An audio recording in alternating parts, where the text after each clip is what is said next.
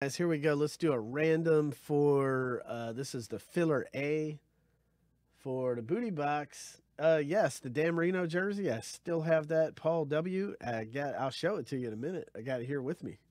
Show it to you in just a minute. But the uh, Bo Jackson helmet series, no dud zone, uh, booty box 203.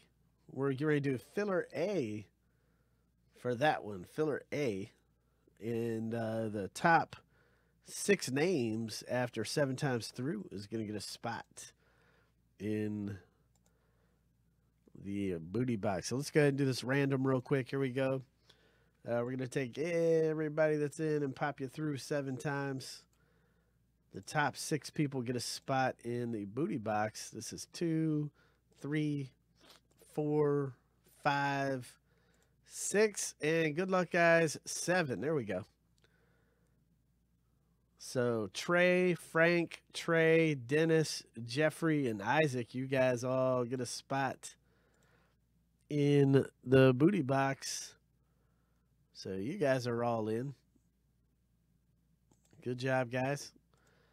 You guys got a spot from filler A into uh, booty box 208. 208.